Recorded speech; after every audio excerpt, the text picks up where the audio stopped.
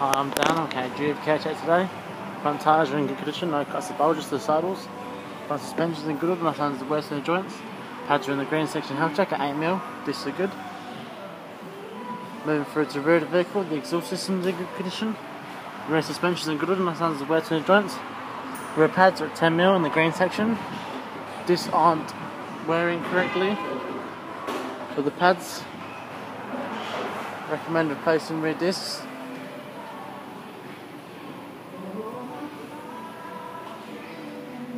This concludes your GF Care Check. Service advisor will contact you shortly.